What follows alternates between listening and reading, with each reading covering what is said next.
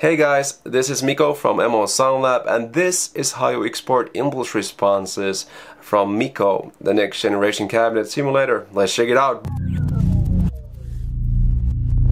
So here we are in Mikko and I have this IR mix that I've been working on. I really like it. The cool part about Mikko is that you can actually export this as an IR file, impulse response, that you can use anywhere, meaning that if you have an Axe-Fx 3, XFX2, AX8, FM3, uh, Kemper, a Helix HX Stomp, a Mooer GE300, a Boss GT-1000, you know, the list goes on and on. In the DAW, if you have an IR loader, you can use these IRs anywhere. All you really have to do is, once you have the sound that you like, just click export and you'll get this pop-up with settings Right now we have 48K and 96K. Uh, we will also include 44.1K for Kemper users soon, uh, so be ready for that.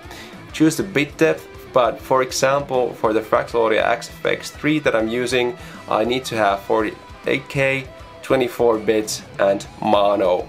And if I have some kind of stereo settings in Mikko, if I've panned the microphones in any way, I can export a stereo IR or the left and right side separately and use that setup also somewhere else.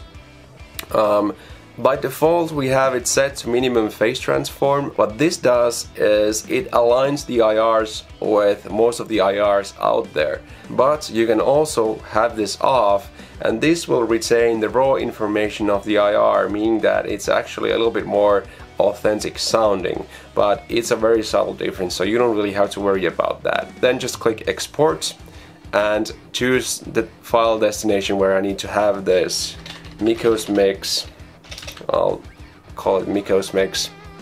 And now that I saved that file, I have it on my computer, I can use it anywhere I like. Generally speaking, all you need to know is for fractal units have 48k 24 bits mono, for Helix it's 84K 16-bit mono and minimum phase transform is maybe wise to have on if you intend to mix these IRs maybe later with some other IR so you don't get any phase problems.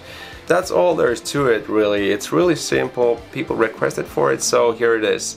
Um, be sure to give me more requests for videos and tutorials on how to use Mikko or anything else. I'd love to do it. Just subscribe to my channel and recommend some topics below in the comments. Cheers and see you guys later. Bye.